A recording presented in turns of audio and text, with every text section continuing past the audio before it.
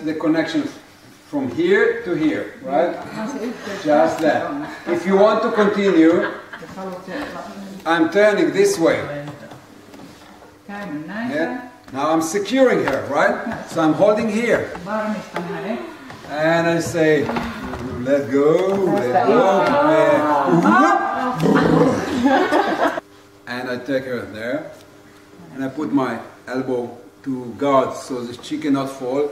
And I take this hand here so she cannot fall. Eli laitan niinku kyynärpään tonne sitten. And I can also go out. You will not fall. Ja tuolla kä- kä- toisella kädellä niinku pidän kiinni, ettei pysty tipahtamaan. Great. Especially now. Etenkin nyt.